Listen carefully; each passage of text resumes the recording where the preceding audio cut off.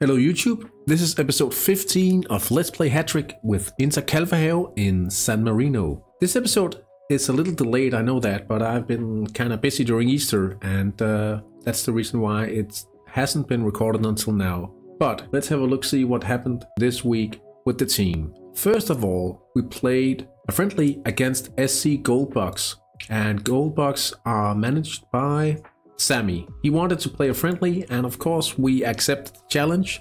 And unfortunately, we weren't able to uh, get some extra time, but uh, we tried the best we could. Looking at the performance of the players, Johnson Odom and Mignarelli played relatively well in the in the winger slots, three stars each, and Kjell Danielson and Ricky Keck played 3 stars and 2.5 stars on the back. Next week, we will play the main team in Denmark and hopefully we'll be able to secure some extra training for both of those teams. Alright, let's have a look at the senior training because as predicted, Johnson Odom popping from formidable to outstanding in winger skill. Ricky Keck and Kjell Danielson both popped from solid to excellent, so that's a nice bonus as well.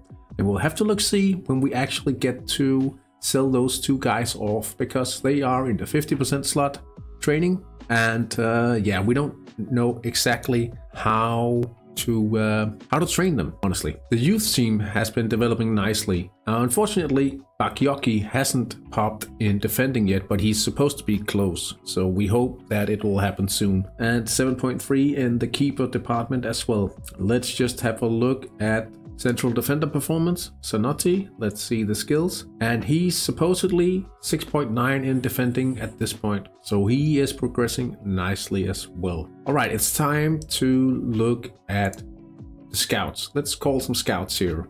Risaliti, 16 years of age. Inadequate playmaking?